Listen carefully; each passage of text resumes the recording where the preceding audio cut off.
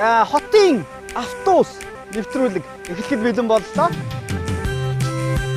Яагаад сонсголон гэж нэрснийг мэдж байгаа юм байна. Ярамгүй. Шинэ нисгэн авсны бодлоо. Тийм хурдтай явах боломжтой юу бол бас боломжгүй болчиход байгаа. Би ээж каноктор болъё гэж хэлээ. Шот зүг зүгийн хүнний зүрхэн дээр нэг Хотын автобус Бямбарагт 21 цагаас хүлээн авч үзээрэй.